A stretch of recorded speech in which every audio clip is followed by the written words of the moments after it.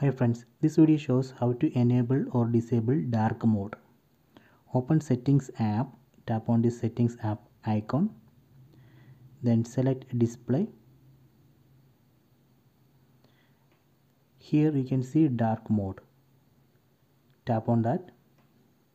Then turn on dark mode, tap here. So now I have enabled dark mode.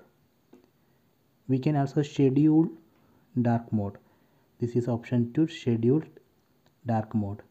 We can also apply dark mode to wallpaper. So this is the option for that. So let me verify.